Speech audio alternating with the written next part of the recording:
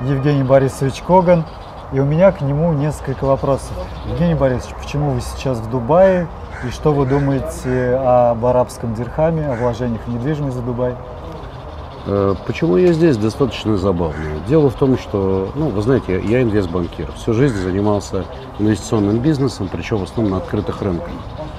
А, в какой-то момент ко мне пришли ребята, партнеры, а я же еще бизнесмен. Моя задача организовывать бизнес, вкладывать, так сказать, что-то интересное придумывать.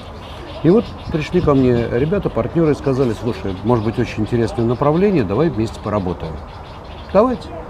И нам удалось создать за короткий период времени несколько компаний, которые занимаются и видами на жительство, и созданием компаний в Эмиратах и так далее и тому подобное, с одной стороны. С другой стороны, э, недвижкой, то есть брокерскую компанию, которая выискивает интересные проекты и, соответственно, продает их людям. Ну и, наконец, девелоперскую компанию. Сейчас будем думать еще о каких-то вещах. То есть, смотрите, э, моя задача идти за бизнесом, находить ниши, Э, в них работать и находить возможности, чтобы мои клиенты зарабатывали. Могу сказать одно. Вот, например, у меня есть клиент, он достаточно успешно инвестирует на месте на фондовом рынке. Э, уже вошел в несколько объектов недвижимости, часть из них продал с хорошей прибылью, то есть работает здесь. Рынок здесь интересный, и не только потому, что россияне покупают. Здесь э, россияне традиционно были где-то на четвертом, на шестом, на седьмом месте. В основном это были индийцы богатые, а Индия богатеет на глазах. Да, вот я это. сам оттуда прилетел. Ну вот, Индия богатеет, мы это видим. И индийцы считают для себя, ну, как бы шиком, а давайте купим какую-нибудь там виллу на островах в Дубае. И этих богатеющих индийцев, как в свое время богатеющих китайцев, которые стояли в очередях Луи Виттон, их же масса. Так что я думаю, что это огромный потенциал. Покупают европейцы, которых, ну скажем так, достали налоги в Европе. Покупают американцы. Я каждый день слышу вот разную речь. Испаноязычие, итальяноязычие, ну, какой угодно. Значит, кто еще покупает? Сами арабы. Очень активны в этом рынке. Покупают сейчас активно россияне, да. Украинцы покупают. Я вижу очень много богатых ребят с Украины, которые тоже покупают здесь. Так что и Восточная Европа, и Западная Европа, и арабский мир, а сколько здесь людей из Пакистана. Да, возможно, что большинство из них это обслуга. Ну, есть и богатые люди тоже. Вы знаете, Вавилон, вот реально Вавилон, это так. Вот. А что касается Дирхама, смотрите, а, Дирхам привязан к американскому доллару. Но инфляция в Эмиратах ниже 3%. Инфляция в долларах еще недавно была 8-7%. Понимаете, то есть, а валюта привязана. Что это означает? Что будут расти активы в этой валюте. И они действительно потихонечку растут. Я не скажу, что безумно идет рост. И многие, когда рассказывают про историю, вот мы купили, там, не знаю, в два раза дороже продали. Нет, ребят, в среднем рост очень стабильный последнее время. Здесь бывают волны, рост вверх-вниз, там все бывает. Отрицательный рост бывает. Так Но, ну, разумеется. Но, знаете, прикол состоит в том, что экономика Эмиратов очень сильно развивается. Более того, сегодня в Эмиратах живет 10 миллионов человек. В основном это Дубай и Абу-Даби. Запланировано через там, порядка 10 лет, что будет жить 15 миллионов. То есть за относительно короткий срок 50%. Прирост это населения. прироста, это население. А ведь прирост за счет кого? Экспатов.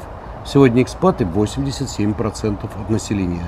Знаете, какое было население Эмиратов в 80-м году. Не знаю, но помню, что это были небольшие деревеньки. Вообще. Это был миллион человек. Итак, миллион, 10 миллионов.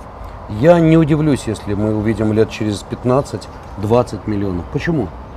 Понимаете, сюда устремляется капитал, здесь создаются уникальные условия и налоговые, и инфраструктурные, и регуляторные, э, и по безопасности. Понимаете, бизнес хочет работать там, где ему комфортно, где его не ограбят, где к нему с уважением относятся, где стабильная налоговая система, где все понятно и просто. Вот в данном случае, ну да, действительно, шейхам удалось сотворить чудо. Они сделали такую вещь, и я признаю, что здесь много проблем и много подводных камней. Но вы знаете, даже тот факт, что рынок, например, недвижимости здесь не сбалансированный, это колоссальный потенциал. То есть вот у меня товарищ, например, конкретно уже, я говорю, провел сделки. За счет чего? Он находит интересные объекты, находит э, какие-то варианты купить на 15, 20, там, процентов, 30 процентов дешевле рынка и достаточно быстро там ремонт какой-то, там другая мебель реализует это с очень неплохой прибылью. На этапе стройки можно находить, потом location ы. Знаете, когда у тебя не сбалансированный рынок, ты можешь найти вот кластер, в котором все очень дорого, соседний кластер, который, казалось бы, тоже должен быть дорогим, или, по крайней мере, почти дорогим, а он в два раза дешевле. То есть прям рядом расположен? Да совсем недалеко. Пожалуйста, у вас есть марина, через дорогу, крытые, кстати, переходы, красивые, кондиционируемые. У вас есть GLT. GLT дешевле. Хотя это зеленый, очень красивый район. А есть стройки в GLT, которые вот по цене, ну, как минимум в два раза дешевле Марины. Вот сейчас на этапе стройки. Я взял, кстати. Вот, на мой взгляд, это безумно интересно. Виды на озера, на гольф-поля. Вот, ну, мне кажется, это интересно. И я думаю, что вот такие арбитражи... Кстати, вы знаете, чтобы не думали, что это уникально. Я вспоминаю ситуацию, когда вот Женевское озеро. Так вот, швейцарская часть где-то лет 15 назад была раза в полтора дороже, чем французская. Дисбаланс этот сгладился, и французская часть почти такая же дорогая, как швейцарская. Почему? Потому. Вот то же самое и здесь будет. Поэтому, когда ты имеешь опыт международной недвижки, я входил в проекты и в Европе, и в России, и в Израиле, и в других странах, в Канаде. И имея этот опыт, я вижу дисбалансы, и вот это самое интересное. Вот здесь можно работать. Пока рынок не сбалансируется, можно заработать сумасшедшие деньги. Это правда. Смотрите, вот все интересные объекты есть в телеграм-канале. Также подписывайтесь на телеграм-канал Евгения Борисовича. Там много интересных новостей из сферы инвестиций, недвижимости. Ну, больше все-таки про фондовый рынок. Говорите, говорите, говорите. Я, может быть, сам подпишусь. Спасибо ему за обратную связь. Был рад увидеть, познакомиться лично. И до встречи в следующих видео. До встречи, друзья. Всего самого доброго, удачных инвестиций и, главное, никуда не спешите. Все хорошие вещи делаются спокойно, размеренно и никаких эмоциональных инвестиций, только рациональные.